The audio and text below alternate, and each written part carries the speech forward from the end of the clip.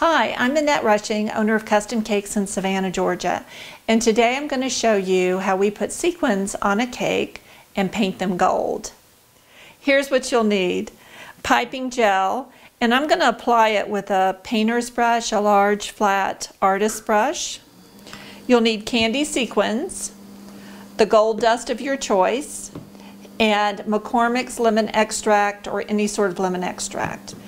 Also to, for the, to paint with, I'm going to use a flat brush and then a round brush as well.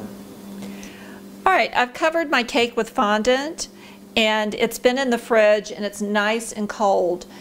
This technique is so much easier and you're going to get such a better result if the buttercream or the ganache under your fondant, whichever you use, is really nice and firm and cold.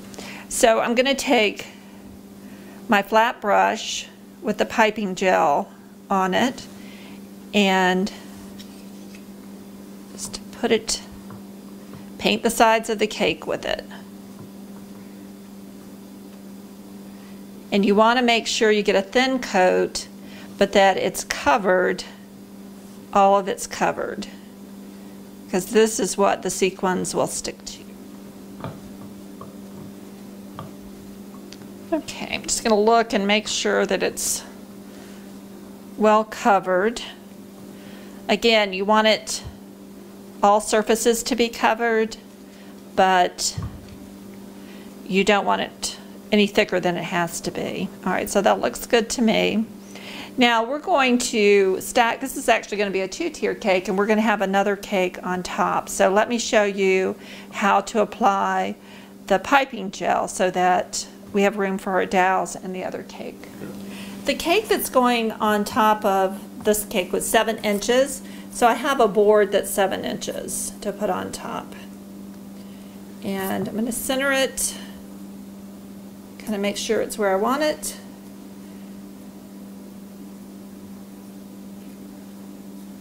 And to me, this is just the easiest way to do it. To do it. Not you don't want the sequins under the other cake.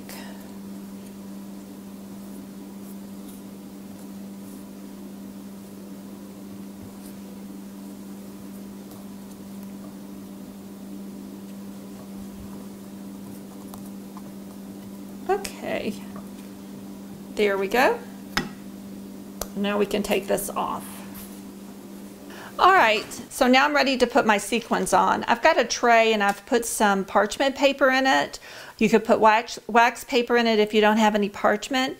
This is just to keep, try to keep these sequins all in one place.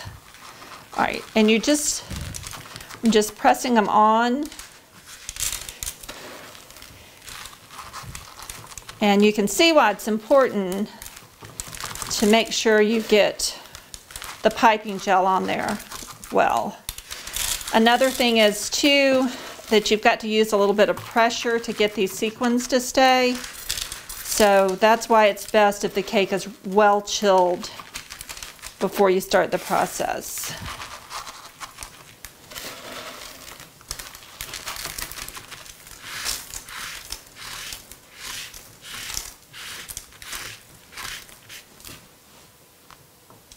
Okay, and I can see where I've got some places where the sequins didn't stick. So what I'm going to do is just take a fine brush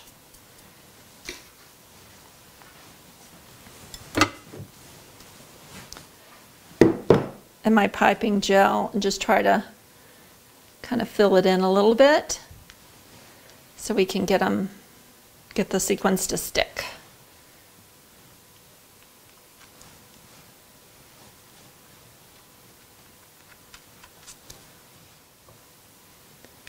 a little bit up here. Go back over this too. Okay. All right.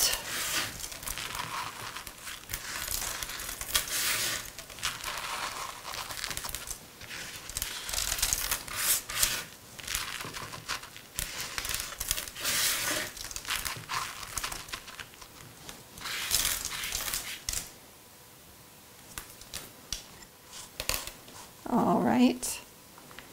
Okay, let's let them sit for just a few minutes so they're really stick.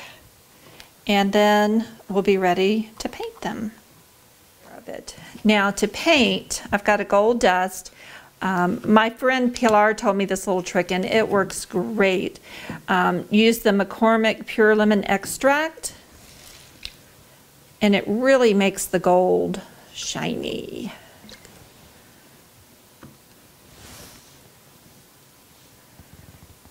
So I'm going to make a paste.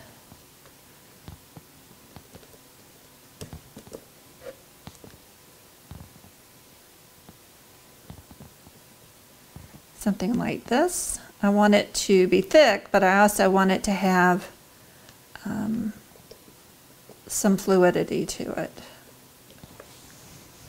All right, let's get started.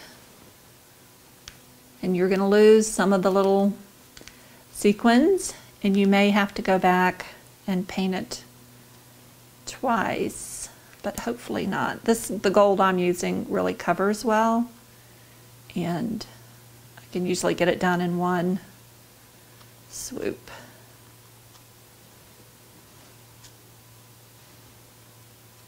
So again, it's, it's pretty thick, but it's got a little bit of still, still fluidity, fluidity, whatever that word is.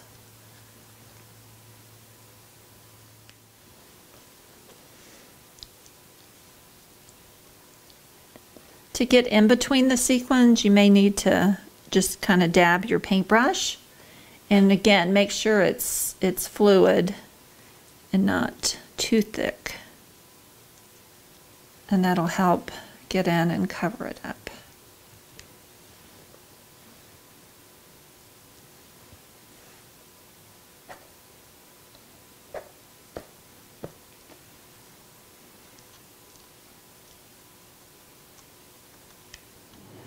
All right, when you're when you're finished, make sure that you go back and look really good you may need to do a little touch up here and there. But for the most part, this covers it pretty well.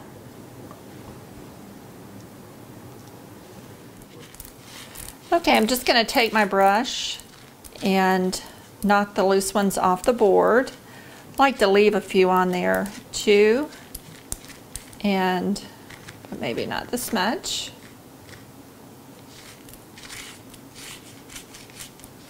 Okay. And now I'll go ahead and just paint the board, the top of the board.